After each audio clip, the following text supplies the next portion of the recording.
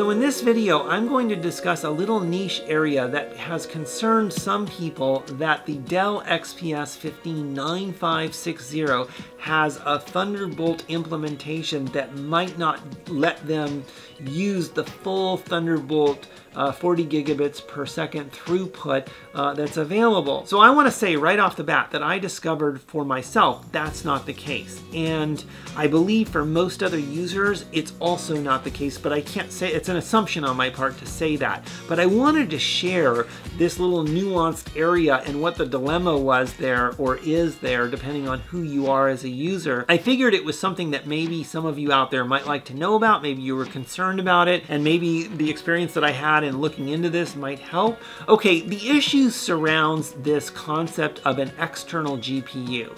If you don't already know, there are gamers who like to buy desktop graphics cards and they insert them into these enclosures that have like a plug that are, make them power, you know, they're powered and then they have like um, a Thunderbolt 3 cable that connects into a laptop and then they play games on a regular laptop with these high-end desktop graphics cards. And this is referred to as external GPU or eGPU. That's lowercase e, capital G, P, U. So I thought this is really a fascinating use of Thunderbolt 3. It's not one that I'm like directly interested in going to do, but I thought it was really interesting because Thunderbolt 3, after all, is sort of, well, not sort of, it actually is an extension via cable of the laptop's bus, and it's pluggable too. That's pretty phenomenal when you consider where we've come from. The Thunderbolt controller in the laptop has this uh, aspect that needs to be um, designed into the system by the vendor. In this case, it would be Dell. And that has to do with how many PCI Express lanes you're going to connect to the Thunderbolt controller. Now, this can get to be a complex subject, so I'm going to keep it really simple. So think of a PCI Express lane as a set of wires that allows a bidirectional communication between two entities in a PCI Express system. So if there's a device there and I'm a controller or whatnot and we're communicating, there's going to be a certain number of lanes that exist between us that give us the communication uh, channels, if you will, or routes to allow us to communicate uh, data back and forth. Now, each lane, roughly speaking, in PCI Express 3.0 and the Dell XPS 15 9560 allows for, roughly speaking, about 8 gigabits a second uh, transfer back and forth, bidirectional and that amounts to about a gigabyte per uh, second. Now it's a little bit less than a gigabyte, but I'm gonna round up because it just makes things simple and it's close enough that that's good enough for this discussion because I'm really just trying to outline the, the problem that existed and just the generalities of bandwidth and uh, doubling that or having it is really what I'm going after explaining here. So if you have one PCI Express lane between two entities, they can communicate roughly at about 8 gigabits per second. If you have two lanes, that doubles, so it's about 16 gigabits per second. If you have four lanes, that doubles and it becomes about 32 gigabits per second. And guess what? That's getting pretty close to the maximum that is supported by Thunderbolt 3. Now, let's say I gave you a choice and said you were going to need to communicate over Thunderbolt 3, and I could give you one lane, two lanes, or four lanes. What would you pick? Well, you would probably pick four lanes because that's going to give you the biggest, you know, throughput to maximize using the bandwidth that Thunderbolt 3 gives you. However, um, not all laptops will implement four lanes like that. Some may implement half of that and only two lanes. And when they do that, yes, technically speaking, it is limiting the throughput when you're communicating via PCI Express from the laptop through the Thunderbolt 3 controller out to the Thunderbolt 3 wire, yes, you are limiting the bandwidth there, but it's not necessarily a deal breaker. Now here's the thing, if you're doing external GPU, You really need those four lanes because that's going to give you the throughput to make it an effective setup and scenario.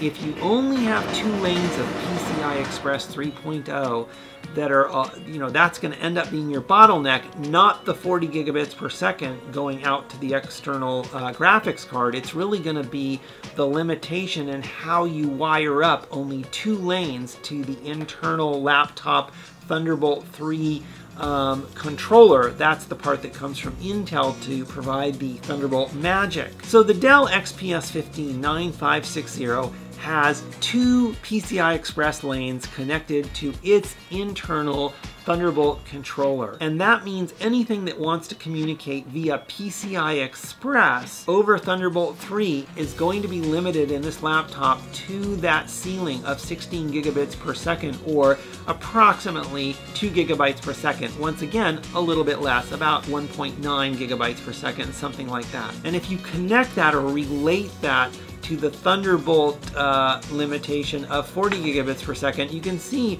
that's um, less than actually half of the Thunderbolt, you know, maximum. So it's actually quite low in a relative sense. So when I first encountered this, I was taken aback a little bit because I know one 4K display you know, can take up to what about 17 gigabits per second for 4K at 60 hertz. And if you add two, so I was like, well, maybe I can't even use one 4K display didn't sound quite right. I'm like, there's gotta be something. So when I started thinking about this, I was like, something doesn't seem right because I know DisplayPort is handled by Thunderbolt, and I've seen some architecture diagrams that show an arrow going right to the Thunderbolt controller. So what's happening here is that the Dell XPS 15 9560 is sending DisplayPort traffic to the Thunderbolt controller in the laptop over DisplayPort lanes which are separate from the two PCI Express lanes for PCI traffic. Keep in mind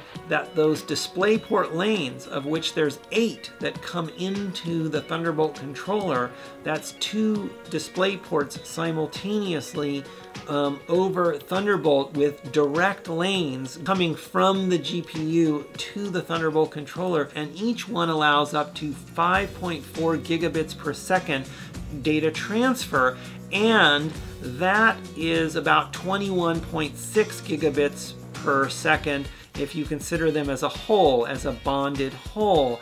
And um, you have to take off some for overhead, but you're still doing really well there. I think the, the maximum is around 17 gigabits per second, which is just fine for uh, 4K display uh, port I.O. Those allow you to make use of a lot of that Thunderbolt bandwidth for DisplayPort I.O., especially if you're doing 4K. So you might say, okay, well that's really great and everything, but aren't you concerned about the limitation in bandwidth due to only having two PCI Express lanes? And right now my answer is generally no, because the only things that I can see myself doing over those two lanes are well under the bandwidth that's supported by those two lanes. Pretty much those other lanes are going to be used for USB 3.0 or maybe Ethernet. Maybe I would connect a Thunderbolt hard drive or daisy chain something to this, but you know, if I do, I just can't see myself investing in some hard drive that's actually going to hit that maximum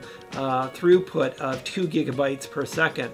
To put this into perspective, those two PCI lanes let you transfer roughly about 2 uh, gigabytes per second, a little bit less actually as I had mentioned. And keep in mind that that 2 gigabytes per second is roughly about 16 gigabits per second. Consider USB 3.0, which supports 5 gigabits per second or about 640 megabytes per second. And I'm not even hitting that maximum with my USB 3.0 uh, hard drives. And then there's USB 3.1, which supports 10 gigabits per second or about 1250 megabytes per second. Both of those technologies are more than enough to support my needs now and probably into the near future. And they're both well under the maximum potential throughput with those two PCI Express lanes. So I'm actually not really worried that those two PCI Express lanes are there instead of four. I'm just not seeing anything get in my way because of that. Now, if I wanted to do external GPU, I wouldn't be able to do it with my laptop. So when reflecting on all this, I really realized actually the biggest potential for me to increase my bandwidth requirements over Thunderbolt in the near future would be probably not hard drive technology or SSDs, but actually uh, I think it would much more be much more likely to come from adding 4K displays. Those things require a lot of bandwidth and keep in mind on the Dell XPS 15 9560, those DisplayPort lanes go right from the GPU to the Thunderbolt controller. They don't go over that PCI Express connection. So the way everything is really wired up, it allows me to make use of this Thunderbolt bandwidth with that more likely scenario because they give you those separate lanes of DisplayPort traffic uh, going right to the Thunderbolt controller, and therefore there's no limitation there uh, that's preventing me from using this bandwidth. So that's it. That's all I wanted to share in this particular video. Um, I hope you enjoyed it. If you want to comment, please do comment. Let me know your thoughts. Uh, uh if you want to subscribe, that'd be wonderful too. If you like the video, please do like it. That's wonderful. And then um, also, thanks for all the folks who've participated so far. I know this is a new channel and I'm just getting started